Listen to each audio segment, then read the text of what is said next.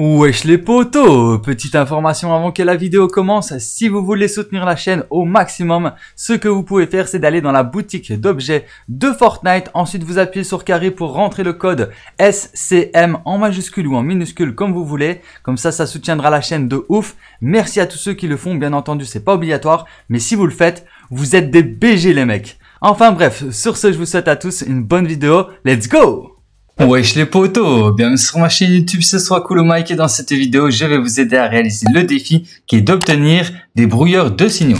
Alors vous avez trois emplacements possibles. Vous avez un à Shifty Shaft qui se trouve plus ou moins par ici, donc sur la grosse montagne. Donc moi c'est celui que je vais aller chercher parce que ben, je suis le plus proche. Il y a un autre emplacement qui se trouve près d'un avant-poste au-dessus de Logjam, donc juste ici sur la montagne aussi. Et il y a un autre... Euh, euh, brouilleur de signaux qui se trouve en dessous de l'état-major sur la montagne juste ici. de toute façon, c'est toujours sur une petite montagne. Donc voilà, donc moi je vais me rendre sur la montagne de Shifty Shaft parce que ben, je suis le plus proche. Donc la, montagne c'est de l'autre côté.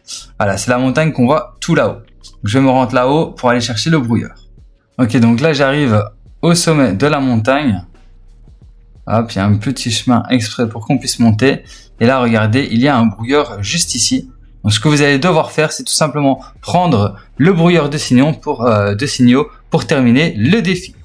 Ah, je viens de remarquer qu'en fait, ça ne termine même pas la deuxième étape du défi, parce qu'en fait, il faut vraiment prendre les trois brouilleurs. Donc là, je vais devoir me rendre euh, à l'emplacement que je vous ai dit juste ici à côté de l'avant-poste des 7. Donc sur cette petite montagne, la montagne qu'on voit là-bas, pour aller chercher le deuxième euh, brouilleur de signaux. Donc en fait, il faut aller chercher les trois brouilleurs de signaux. Je croyais qu'il aller juste en chercher un, mais en fait non, pas du tout.